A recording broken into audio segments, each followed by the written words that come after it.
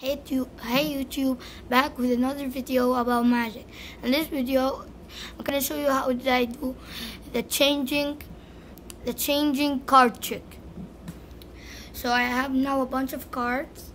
Now this is your card. This is your card. See, nothing to do with it. Then I put it back. We're back. Now I do like this. Then I do like this. Then I put it here. Then and your your card was the let me get it back. And your card was do it again. And I got put it here. Get card. So how did I do that? Check is very simple. You just need a bunch of cards.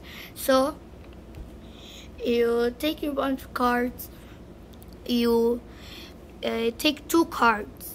Two cards. These are two. Okay. You take two cards. You go like this. So I have a bunch of cards, and you go like this. This is your card. Flip it. For should they not uh, know there's something? Then you go like this. And you put your card right here. Then it's changed because it's flipped uh, like this. It was the red card was here, then the black was up.